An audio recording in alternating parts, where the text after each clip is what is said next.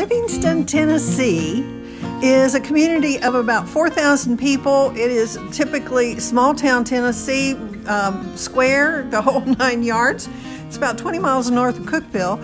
And I attended a one woman show opening last night for Adrienne Stone. Adrienne is one of our audacious artists and a lovely lady. If you missed our last auction, uh, that's too bad because a number of the pieces that she had up for sale uh, at beginning bid prices, there were a lot of red dots in this uh, opening last night.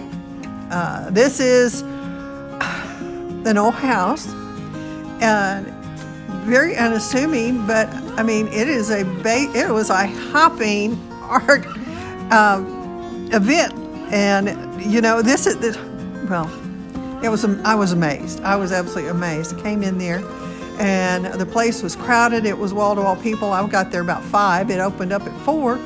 And uh, like I said, Adrienne's pieces, I love her. See, there's one gone. That was one of the ones in the auction. Uh, there was another one that was in the auction. And um, anyway, you guys missed your opportunity. Uh, we've got uh, more artists that are joining the Audacious auction for April. Um, our um, Adrienne will be returning along with Sandy Boss.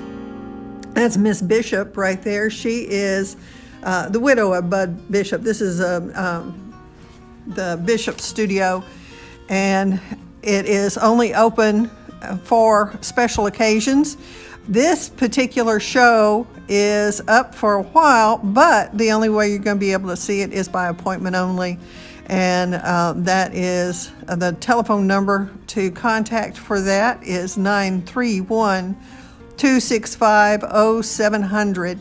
Uh, that way, you can make an appointment to go to Livingston, Tennessee, and go in and see what few remaining paintings are left uh, if you're interested in Adrienne's work. In the meantime, Adrienne and I are going to be having a little paint party uh, in the near future as she's readying pieces for our next auction, which will be April 24th through the 26th. Um, there's a dozen uh, artists this time around, uh, more from Europe and more from the uh, central um, Tennessee region, middle Tennessee region. Um, and there's more about that upcoming at Looney's Audacious Art Auction on Facebook. Be sure and go there, check it out, um, see previews of the artists, um, behind the scenes studio interviews, and more. Okay, let's just finish enjoying Adrienne's work, and I hope to see you soon. Thanks.